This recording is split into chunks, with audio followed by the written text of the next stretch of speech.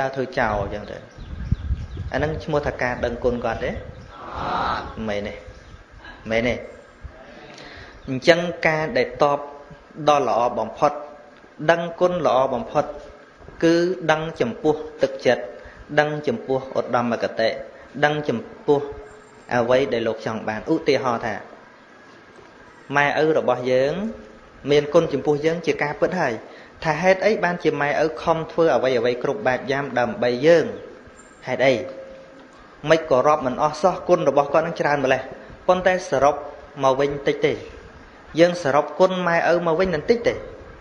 គឺបំណងចង់ឲ្យកូនបានសេចក្តីសុខ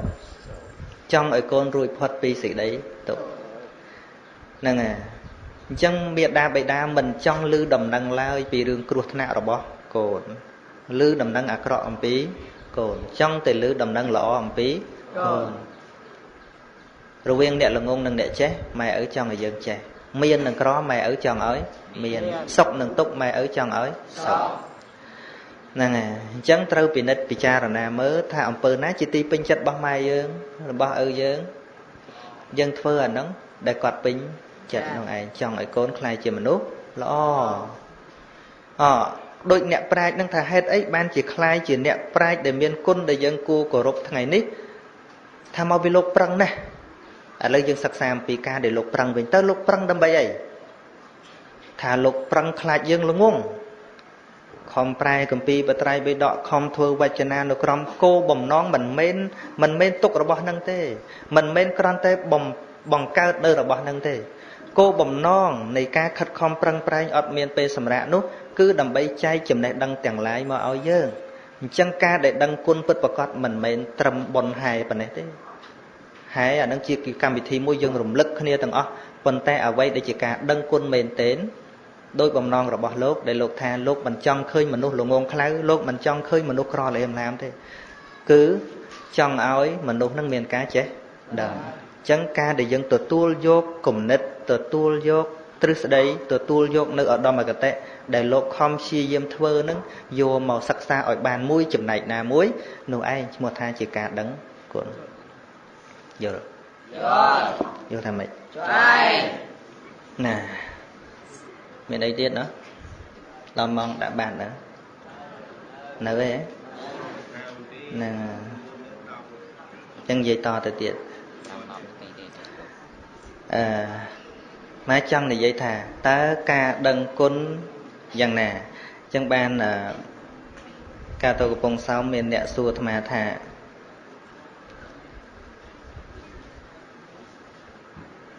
ឪពុកម្ដាយរបស់គាត់នឹងស្លាប់ទៅហើយតើក្នុងភាពជាកូនកតញ្ញូនឹងតបគុណគាត់បានទេ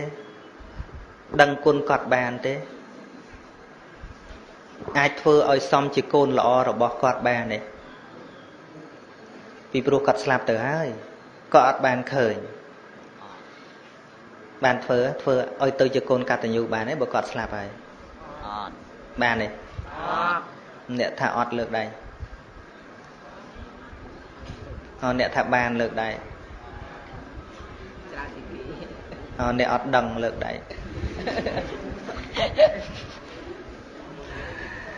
ហ្នឹងហើយឥឡូវអាត្មាសួរអញ្ចេះទៅវិញ ព្រះសម្មាសម្ពុទ្ធបរិនិព្វានទៅហើយតើយើងអាចនឹកគុណព្រះអង្គបានទេបានលោកចាញ់ញាតញោមមកចំណុចនេះណាអញ្ចឹងពាក្យថានឹកគុណមិនមែនដោយការឃើញមនុស្សដែលមានគុណមិនមែនគ្រាន់តែបានទៅចាប់ពាល់មនុស្សអ្នកមានគុណទេគឺនៅត្រង់ចំណុចដែលធ្វើតាមឧត្តមគតិរបស់អ្នកមានគុណនោះឧទាហរណ៍ វគ្គលិបួសហើយទៅសម្លឹងមើលតែប្រភពព្រះសម្មាសម្ពុទ្ធមួយថ្ងៃមួយថ្ងៃហ្នឹងក៏គិតថាបើនៅប្រសក់វាមិនបានកាត់លោកអញ្ចឹងទៅបួសបានអង្គុយមើលមុខព្រះអង្គព្រះអង្គស្អាតពេកនោះនឹងអង្គុយសម្លឹងមើលតែព្រះអង្គចឹងព្រះអង្គនៅមិនតាន់ស្ដីថាទេចាំមើលតែអន្ត្រីចាស់ខ្លះព្រះអង្គថាវគ្គលិប្រយោជន៍អីដែលអ្នកមកមើលមុខតថាគត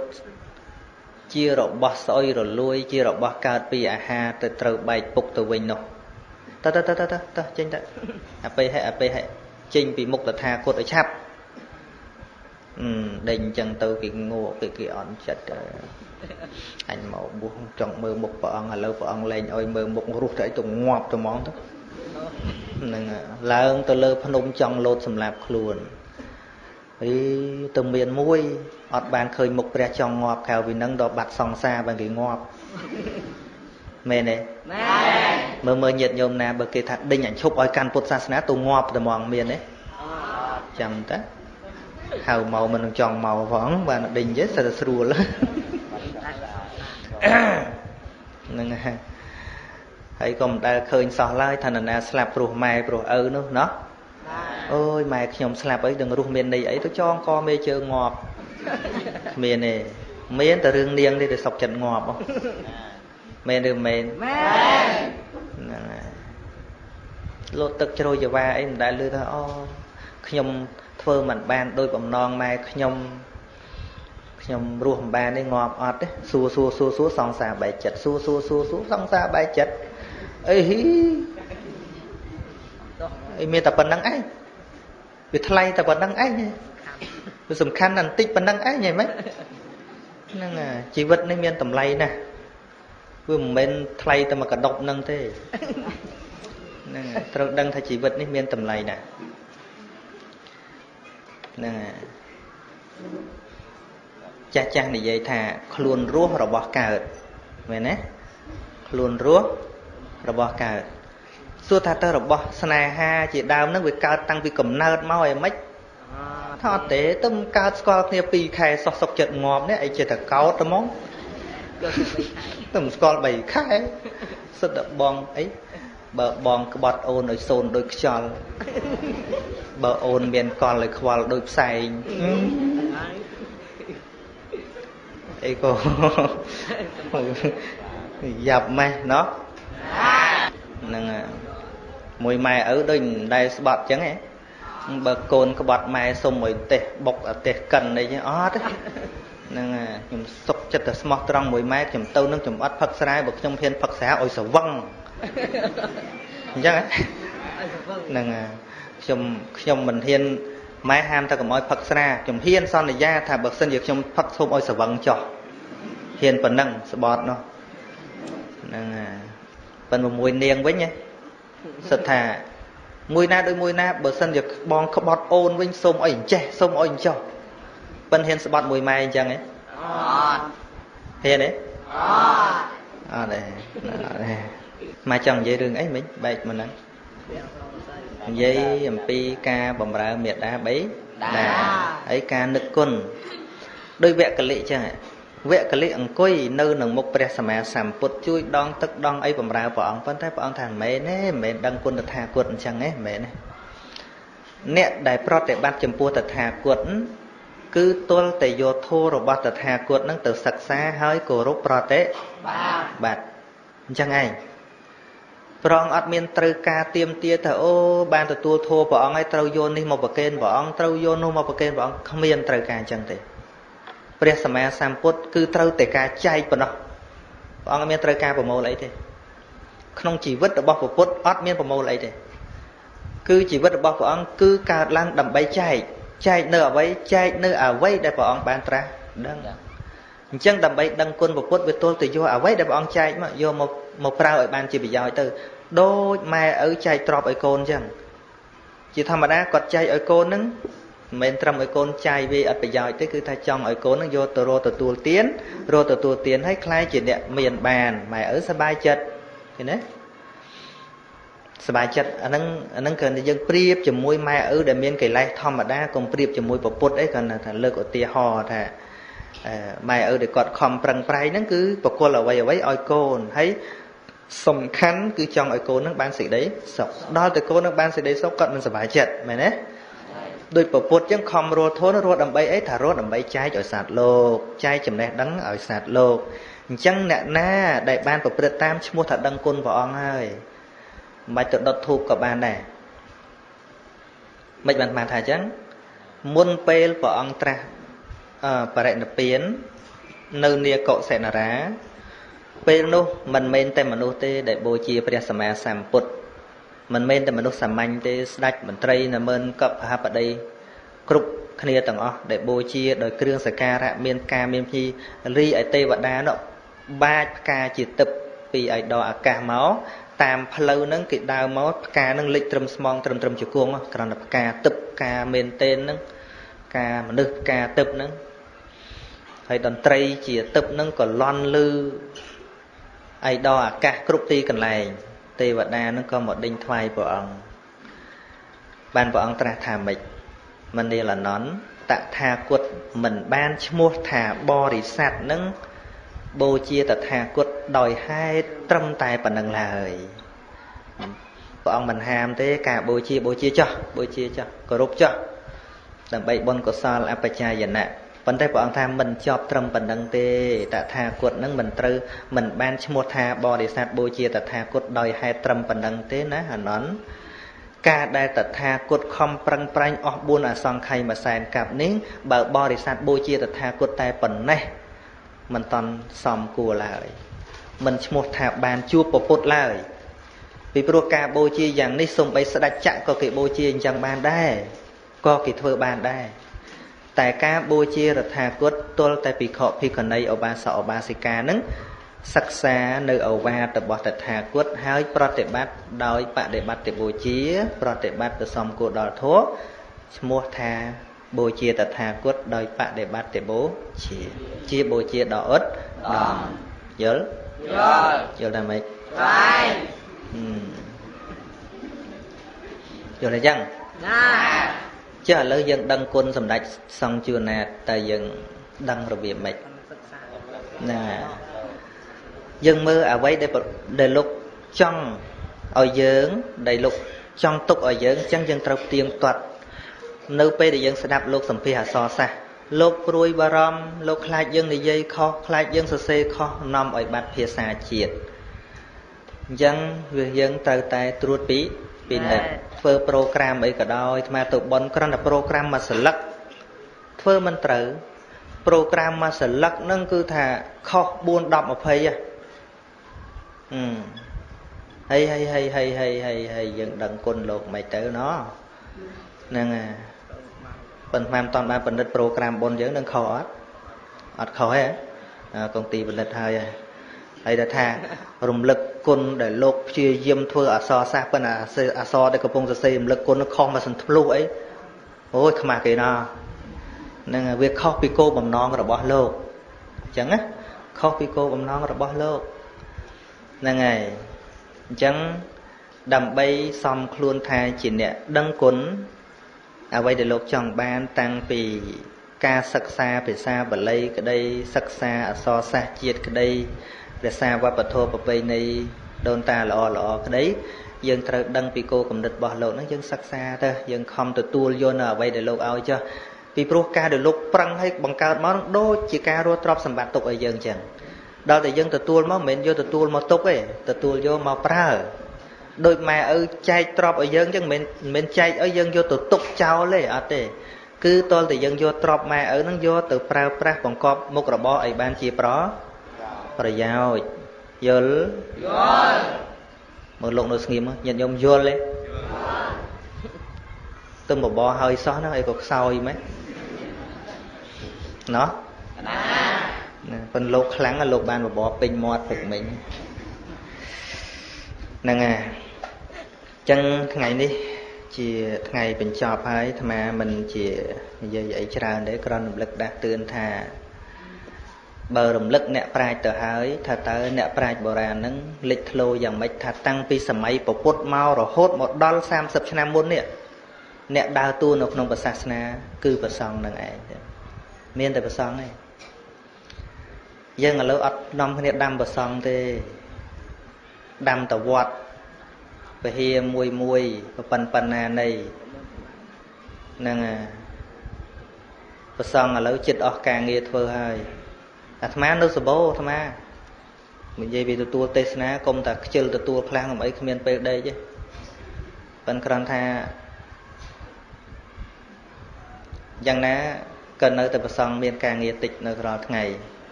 ការងារប្រសង់ប្រពៃណីតាំងពីដើមមកឲ្យសិលសូត្រមន្តទេសនាការងារប្រសងសិតការងារប្រសងហ្នឹង បានជាប្រសងមិនទៅធ្វើស្រែហ្នឹងមកពីមានការងារហ្នឹងមកពីមានការងារឲ្យសិលសូត្រមន្តទេសនាក្រៅពីការប្រព្រឹត្តប្រតិបត្តិខ្លួនឯងសិក្សាហើយយកចំណេះពីព្រោះក្នុងមហាគោបាលសោតព្រះអង្គសម្ដែងថាមានអង្គ11អ្នកជាបាអឹមអ្នកអ្នកខ្វៀលគោហ្នឹងចំណុចមួយគឺត្រូវអុចភ្លើងអុចភ្លើងអុចភ្នក់បំពួកមុខបំពួកភ្លើង កន្លែងហ្នឹងព្រះអង្គថាក្រោយពីបព្វជិតនឹងសិក្សាហើយត្រូវសម្ដែងធัวបយលបរិស័ទដើម្បីឲ្យបរិស័ទនឹងយល់កាលណាបរិស័ទនឹងយល់បរិស័ទប្រកេនបច្ច័យ4កាលណាបរិស័ទប្រកេនបច្ច័យ4លោករស់ក្នុងភេទជាបព្វជិតតទៅទៀតដើម្បីបន្តអាយុសាសនានឹងតទៅទៀតចុះបើលោកអស់ឱកាសពពួកភ្នក់ភ្លើងហើយ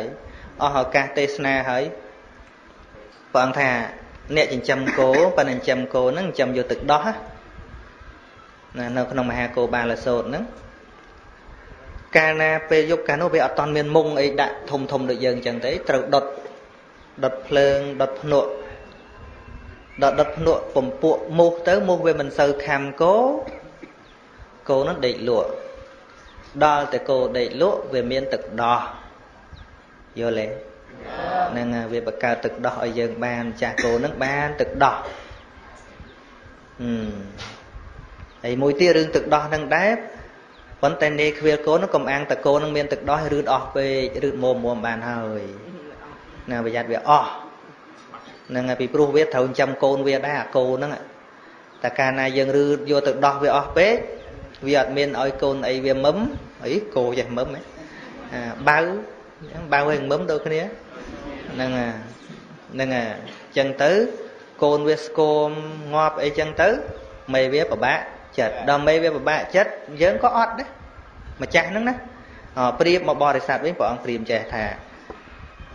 បព្វជិតនឹងត្រូវតែខំសិក្សាហើយសំដែងធัวបញ្យលបរិស័ទរឿងសូត្រមន្តរឿងសំសិលរឿងតបសំទេ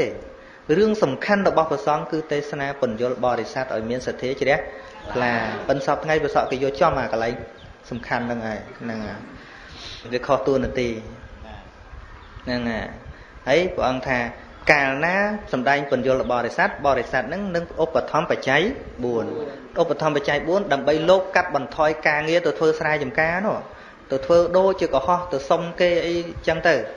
ពីព្រោះបបចិត្តគឺជាភេទដែលមានកិច្ចការតិចអបកិច្ចចោចសាលហុកវត្តៈណាត្រូវមានកិច្ចការតិច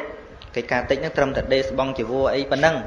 បោះច្រាស់គាត់ប៉ុណ្ណឹងប៉ុន្តែការងារធំគឺការសិក្សាការរៀនសូត្រ ការប្រព្រឹត្តប្រតិបត្តិនឹងហើយឆ្លៀតពេលអុចភ្លើងផងបាបចិត្តនឹងដើម្បីឲ្យបរិស័ទនឹងយល់កាលណាយល់បរិស័ទជ្រះថ្លាឧបត្ថម្ភបច្ច័យ4កាលណាឧបត្ថម្ភបច្ច័យ4យើងបានរស់រស់នឹងរស់ជាមួយនឹងទឹកដោះដែលបានមកដោយគេជ្រះថ្លាមិនមែនមិនរស់ដោយសារទៅបង្ខំគេមិនមែនរស់ដោយសារទៅសុំគេទេគឺថាបញ្យល់ឲ្យគេយល់ទៅគេចិញ្ចឹមដោយសេចក្តីរីករាយគេឧបត្ថម្ភដោយការរីករាយ មិនបាច់ទៅត្អូញអូញោមមកអាត្មាក្រណាញោមអូញោមអើយខ្វះនេះខ្វះនោះមិនបាច់ទេបញ្យល់គេទៅដូចគោអញ្ចឹងមិនបាច់ទៅមិនបាច់ទៅសុំឲ្យវាចេញទឹកដោះទេឲ្យតែយើងឲ្យវាដេកលក់ស្រួលឲ្យស្មៅវាល្អទឹកដោះវាមានឲ្យយើងរឺតមុំទៅប៉ិនមកចំណុចទៀតព្រះអង្គថាតែពុបានរូតហើយអ្នកកុំវេលកូននឹងកុំរូតច្រើនពេកខ្លាចវាអស់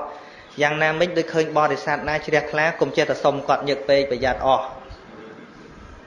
ទៅគាត់ស្វៅស្វិតហៅប៉ៅទៅយើងវាមិនអស់ណោះព្រោះអីទៀតអស់អញ្ចឹងការងារនឹងវាពិតវាការងារអញ្ចឹងការងារវាអញ្ចឹងហ្នឹងហើយអីដល់តែការងារពពួកភ្នក់ភ្លើងហ្នឹងវាធ្វើខុសតួនាទីអញ្ចឹងហើយបានអ្នកណាជ្រះថ្លាជាមួយព្រះសង្ឃទៀតដល់តែអត់មានអ្នកជ្រះថ្លាជាមួយព្រះសង្ឃទៀតកុំសង្ឃឹមវត្ត4វត្តវត្តហ្នឹងនៅណាវត្តខ្លះអស់លោកហើយ គេយកទៅធ្វើត្រង់ជ្រូកវិញក៏បានដែរមិនវត្តលោកតាចាទេមិនវត្តដូនជីកើតទេបើអត់លោកសង្ឃនោះហ្នឹងហើយហើយបើញាតិញោមថាអឺឲ្យតែធัว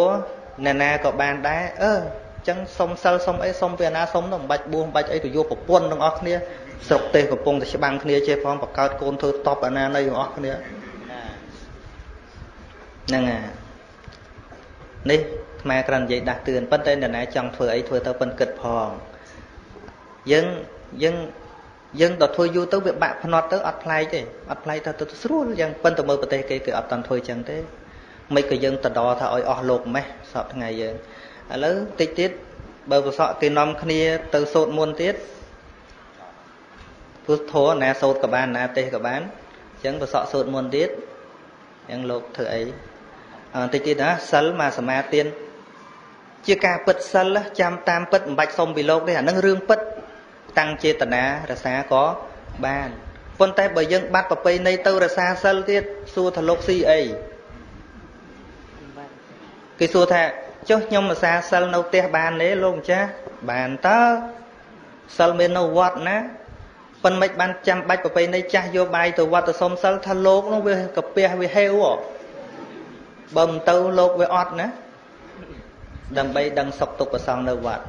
ប៉ុន្តែបើយើងគិតថាមិនក៏បានមិនក៏បាន ថាសិលមិនបាច់ទៅវត្តទេណាសិលមិនបាច់ទៅវត្តទេសិលមិនបាច់ទៅវត្តទេចេតនាហាងសីលੰភគវេវទាមិមនាលភិក្ខុទាំងឡាយតថាគតហៅចេតនាជាតួសិលដូចនាងសុជាតារសាសិលមានលោកណាទេប្រអិនឲ្យរសាទៅជាកុកទាំងមានទៅរសាពីលោកណាប៉ុន្តែពុព្វបរោះយើង ហើយទំនៀមក្នុងសាសនាយើងឲ្យថ្ងៃសិលនឹងសមាទានឲ្យទៅវត្តផងដឹងសុខទុក្ខប្រសងនៅវត្តណោះបានស្ដាប់ធម៌ទេសនាជាអាហារសិលនឹងទៀតយល់ទេយល់ថាម៉េចហ្នឹងហើយយល់ចឹងហើយចឹងហើយចាប់ហើយចឹងចាស់